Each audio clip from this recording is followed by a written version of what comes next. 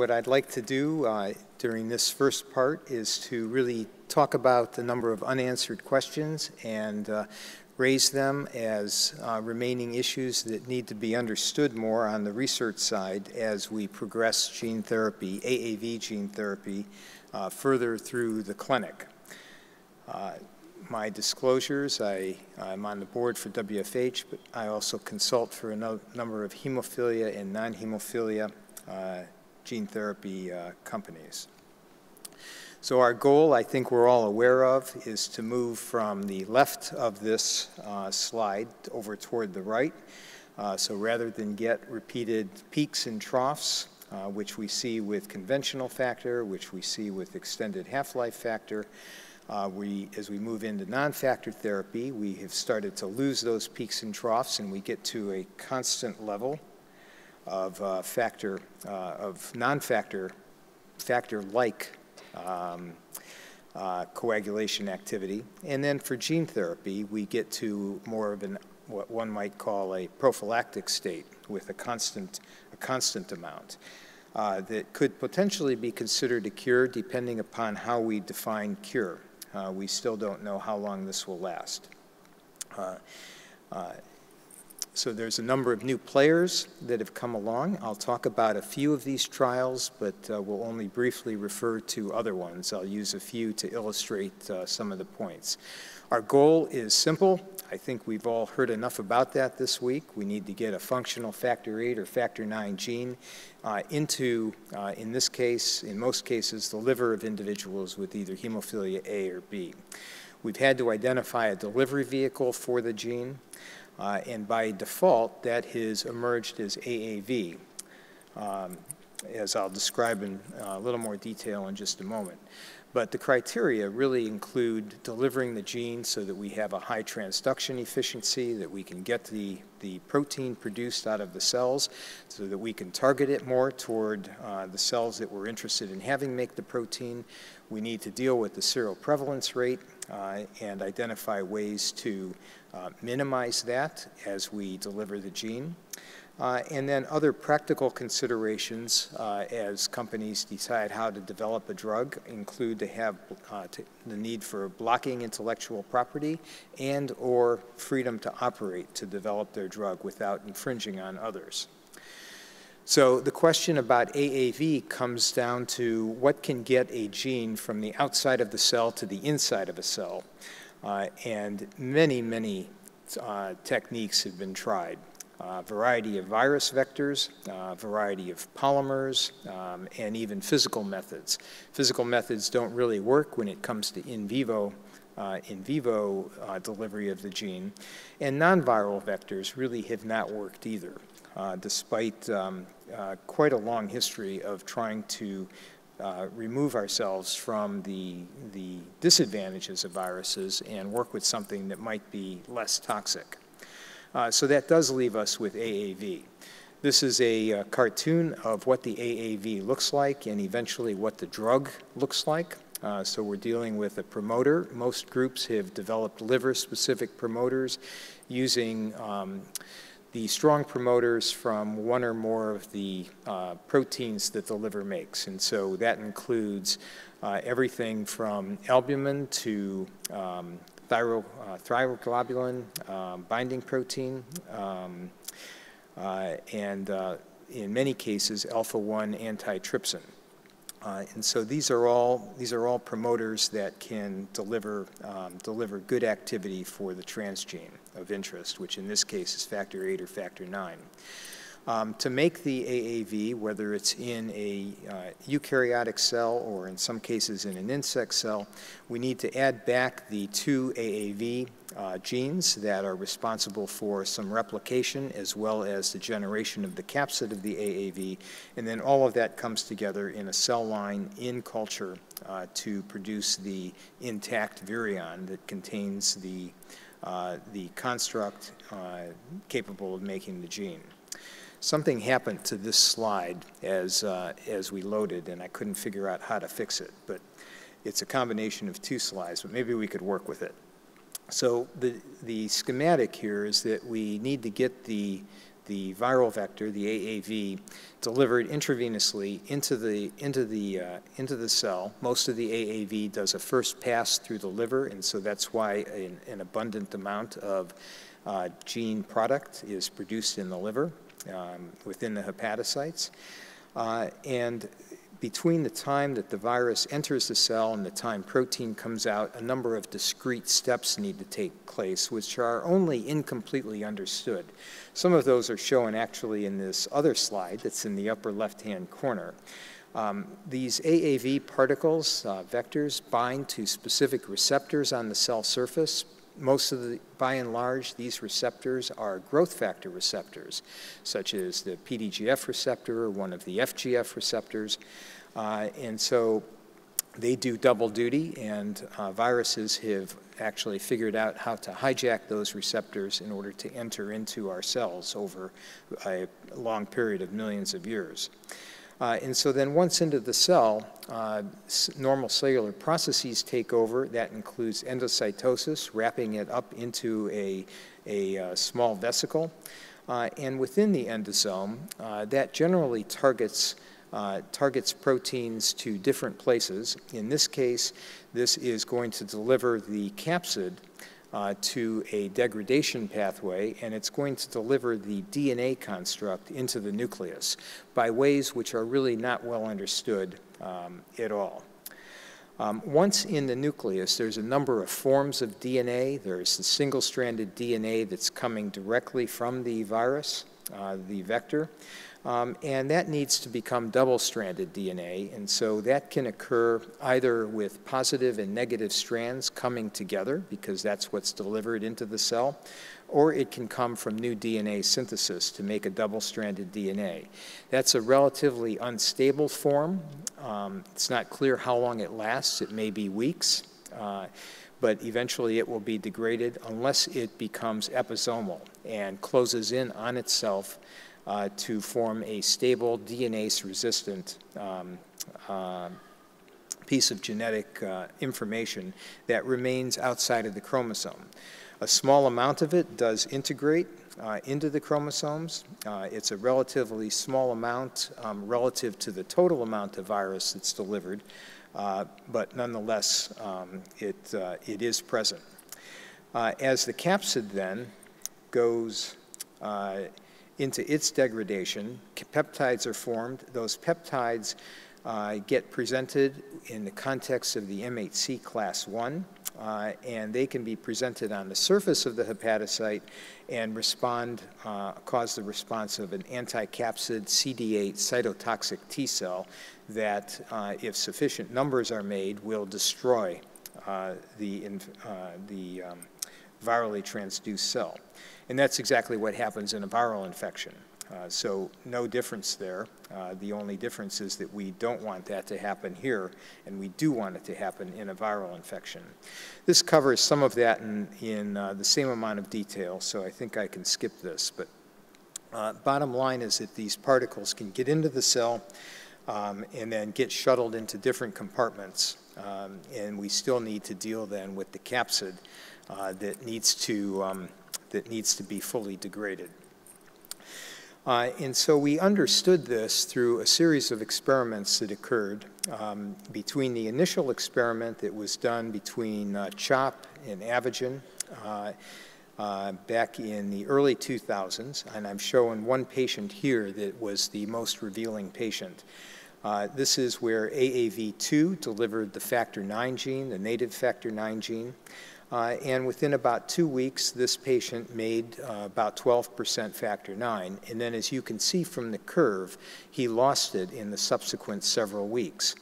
Concomitantly, the ALT rose, and this was our first indication that we were dealing with some type of a toxic insult to the hepatocyte. Uh, and then after years of investigation, it was determined that it was that cytotoxic T cell response that I just described on the previous slide in work done by Amit Nathwani and our own chair. Where did our chair go? there he is. Um, Ted Tuddenham, uh, they uh, were able to determine how to control that cytotoxic response uh, simply by administering prednisone when the ALT went up. Uh, and so that was a, um, um, simple yet very innovative uh, way of thinking about it, to think about it in terms of autoimmune hepatitis and what would one do there. You'd give a bolus of steroids. And so what you can see in two of the participants from the University College London St. Jude trial uh, is that um, both participants had rises in ALT. In the one case, the top case, the ALT rose to around 200. In the other case, it didn't even get above normal but concomitantly the factor IX dropped. And so by administering prednisone, one was able to preserve factor IX activity without losing it as, was, uh, as it happened in the first study. So this really enabled uh, the development of the proof of principle uh, that was uh, published in 2011 and again in 2014 to show the long-term preservation of factor IX activity. Uh, and so this cytotoxic T cell response uh, is something that has been difficult to reproduce in animals, um, but yet it's been seen in humans in a number of clinical trials. The interesting thing about it is that it's probably not the only story as to what's happening to the hepatocytes. And so we'll cover that um, in a little while too. Um, that was the slide that popped up onto the earlier one for some reason. So what are all the causes, possible causes of this transient liver enzyme uh, um, elevation and presumably liver inflammation, although we've been unable to confirm that with the biopsy. And as I mentioned, we have not been able to demonstrate this convincingly in animal models. So the first choice is the cytotoxic T cell response. I think that's a given. It's been shown in several studies, and it's been validated with ELISpot analyses that demonstrate uh, interferon gamma production um, and um, uh, the hallmark of a cytotoxic T cell response. It's also been shown uh, that some of the capsids that are from the viral capsid itself, some of those peptides can actually bind to individual patients' class 1 uh, HLA uh, that also confirms then that that could appear on the membrane of the hepatocyte and cause, uh, cause the cytotoxic T cell response. So I think everyone's pretty well convinced that that is at least one major mechanism that um, has been seen independently um, with at least two different serotypes of, uh, of vector, uh, AAV8 and AAV2. Um, it has not been seen, however, with AAV5. Work from both Unicure and BioMarin haven't, haven't really been able to detect the cytotoxic T cell response. So it raises the question of what else could be going on. And uh, the short answer is I don't think anybody's clear. Um, the hypotheses, though, are fairly limited as to what else could be going on. A tremendous amount of virus is being delivered, and so that means that the cell has to process the capsid, uh, which um, is, uh, is a large load on perhaps a small number of cells that get transduced within the liver. Uh, and so that may overwhelm the cell degradation, the lysosomal machinery to um, uh, be able to accomplish that and uh, induce some level of autophagy.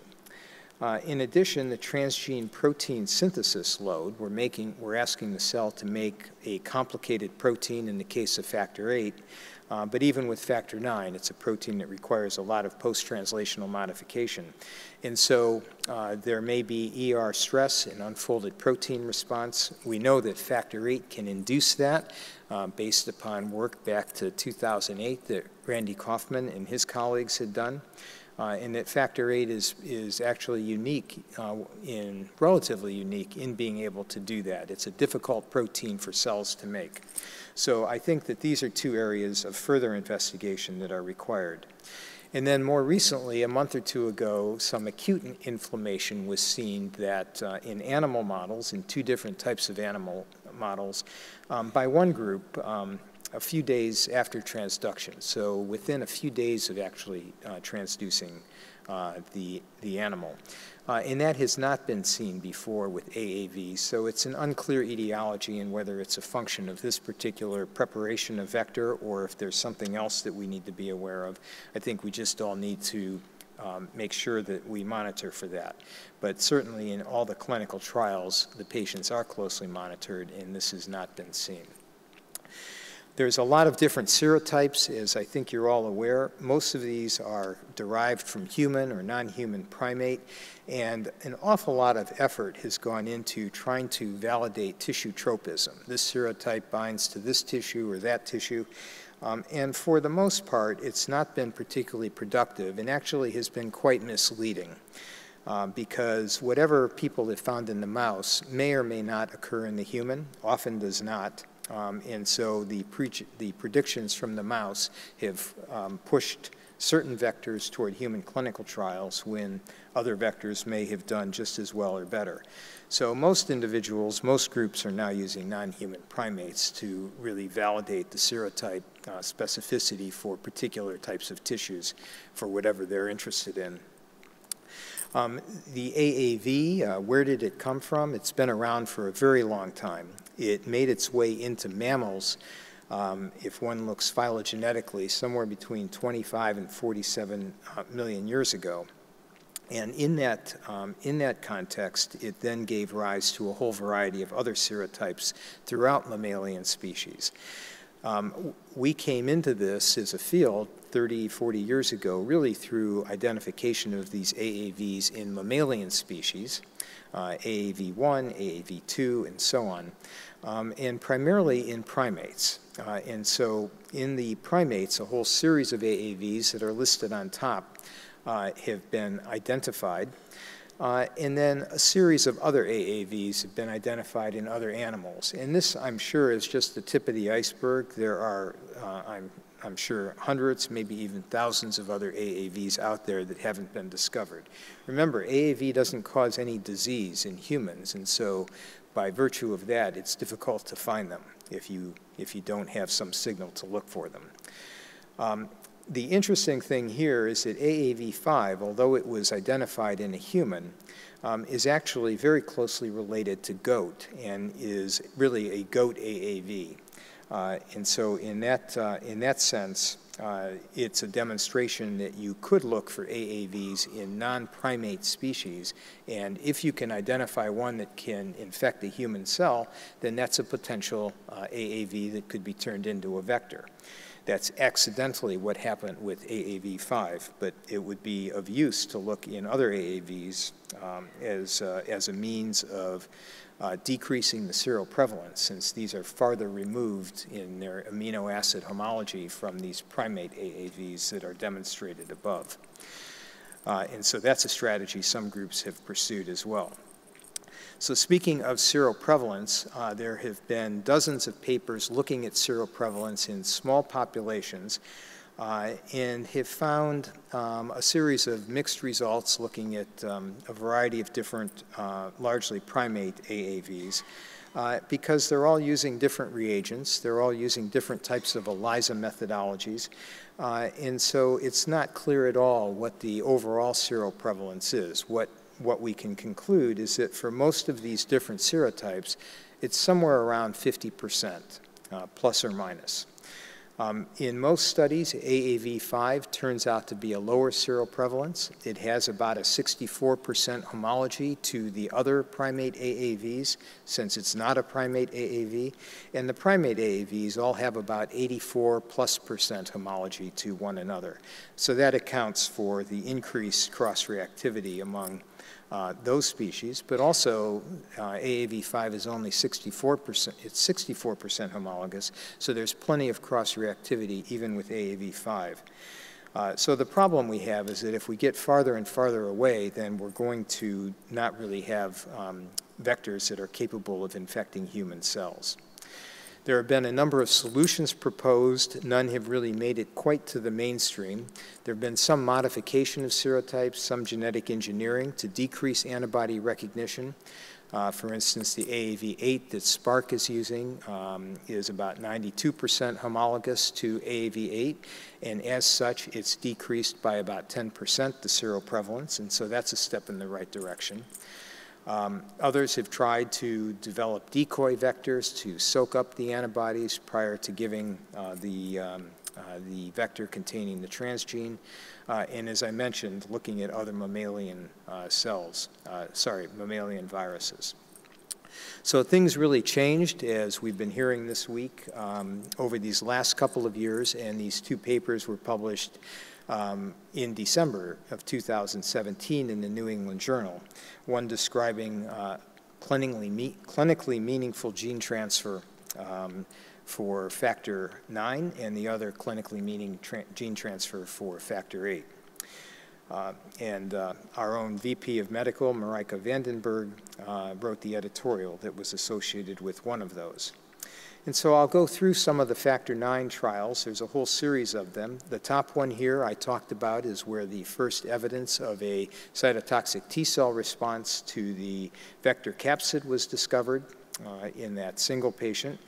Uh, and then the next one down is the um, Nathwani, uh, Tuddenham, um, uh, St. Jude, UC uh, London uh, where they got stable expression of low levels of factor IX and were able to demonstrate um, de uh, significantly decreased uh, factor utilization and uh, decreased bleeding rates. another trial that was run with factor IX used a mutant that I'm going to describe in a couple of slides, and um, that trial didn't really work well and unclear exactly what happened there. Um, and then a trial that I'll describe in more detail, the SPARK trial, uh, where at one year they got 16 to 81 percent activity in, in about 10 different patients. Uh, and now there are a series of other trials that are ongoing. I'll talk briefly about the Unicure trial, AMT 060, uh, and how it's turning into 061 uh, using the uh, um, R338 uh, transgene. Whoops. Uh, and an additional trial um, where the transgene is put into the albumin gene, and so in a form of gene editing uh, to provide safe harbor for it uh, is uh, open. The trial's open, and um, uh, I don't know yet if they've recruited patients. So this looks in a little bit more detail at the um, et al. trial. I showed you two of the patients that required prednisone therapy because of elevated transaminases. This is all 10 of the patients. And what I wanted to show is that um, these patients uh, got long-term sustained uh, low-level factor IX uh, secretion uh, from the hepatocytes, and several of them had spikes in the transaminases. They were able to control them with prednisone, and although they lost activity, they were able to stabilize the activity um, in most cases uh, to a, um, uh, a steady state of factor IX production. Uh, this Unicure trial started off using the native factor IX transgene, and I, I believe it was essentially identical to the UCL uh, St. Jude uh, construct. Uh, and they went, uh, they developed two cohorts, a low dose and a high dose. Their low dose cohort, averaged over um, over two years about 4.8% factor IX activity, and the high dose about 7% uh, factor IX activity, so consistent with a dose response. Um, and what uh, they did find uh, elevated uh, transaminases in a couple of their patients. They treated with steroids, uh, but um, they really did not find evidence of a cytotoxic T cell response. They uh, um, believed that the activity was not sufficient, uh, especially given what, um, what Spark was doing with the uh, with the Padua mutant, and so they developed a plan to switch to a high specific activity uh, factor 9. Uh, so what about the Padua mutant? Uh, well, this is, uh, it has its basis um, in uh, intersecting ways that validate its, its use. In 1998, Darrell Stafford and his colleagues at UNC Chapel Hill um, identified through a series of random mutations of the factor 9 gene a mutation at R338 that uh, had threefold increase in specific activity. This was proven to be um, important when um, an Italian group, Simonini and Ruda, now at CHOP, uh, found that there was a natural variant in two brothers that had a five to tenfold increase in specific activity. And that's listed in the table here from their New England Journal paper that was published in 2009. So these two brothers, one brother had clinical problems with increased thrombosis, the other one did not, and they both had an eightfold increase in specific activity of the factor IX. Uh, and so that seems like a really good idea to use for gene therapy when we keep trying to push the limits of how much vector can be delivered and how much transgene can, uh, can be expressed.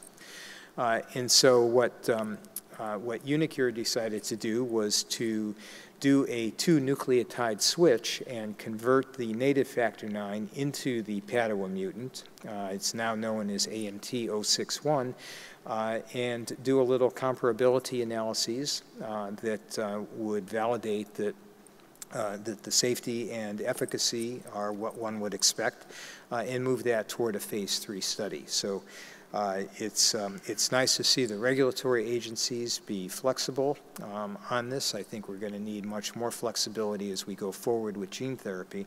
And as long as we see comparability, it would make sense to, um, to be able to do something like this.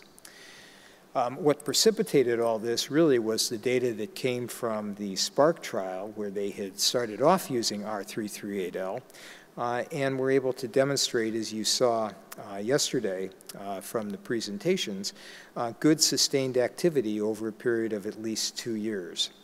Uh, it ranged from about 14 to 77 percent over this period of time. They did see two transaminase elevations, uh, gave three patients uh, steroids, um, and did find evidence of this anti-capsid uh, cytotoxic T cell response, consistent with what they had seen before. Uh, safety was good, uh, and they had a profound reduction in bleeding rate and factor utilization over these two years. Uh, so a very successful, innovative study. If we move on to factor eight, uh, there are several groups that are pursuing factor eight. Uh, the one that has generated uh, uh, complete phase one, two data is the AAV5 factor eight from, uh, from BioMarin, where at the first year they demonstrated about 100% uh, factor eight activity. There are several other factor eight trials that are ongoing now that are variations on a theme using different constructs, uh, different promoters, um, and uh, different, uh, different serotypes. And so it will be of use to be able to compare and contrast to see um, what emerges as most successful here.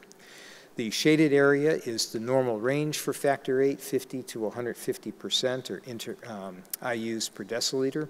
Uh, and as you can see by about week 16 or 20, um, the um, uh, factor VIII activity comes up and remains, uh, remains within that normal range over a period of uh, up to two years.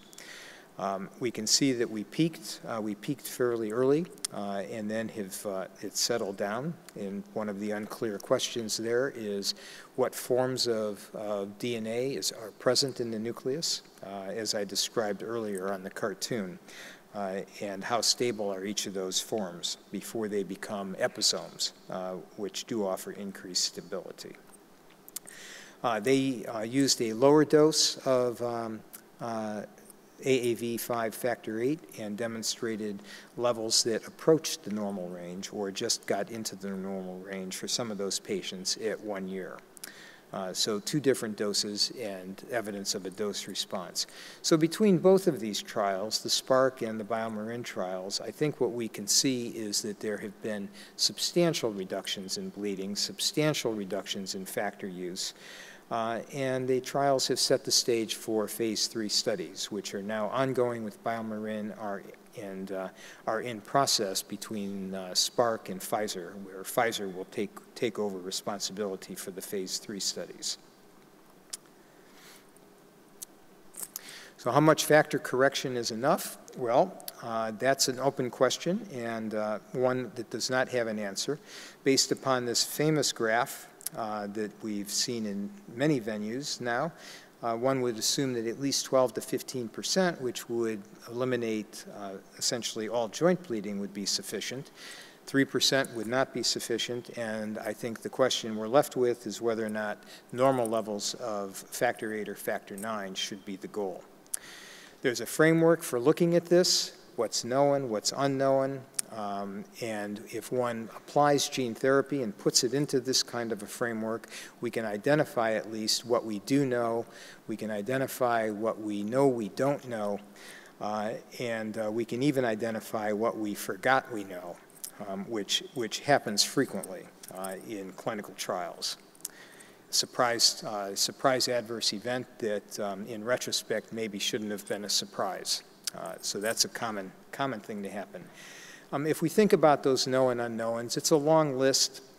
And it's part of what we need to do in research to support these clinical trials, because although the answers to all of these aren't needed before licensure, we should be working toward this because they could help us to develop improved therapies, um, next generation therapies, and avoid any mishaps along the way as well.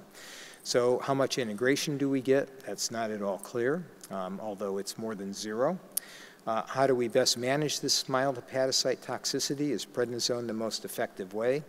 Uh, where else in the body is the vector going?